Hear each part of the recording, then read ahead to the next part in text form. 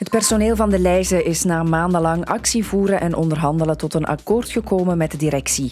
De Leize zal nu 700 jobs minder schrappen dan voorzien en vier winkels die normaal moesten sluiten zullen toch open blijven.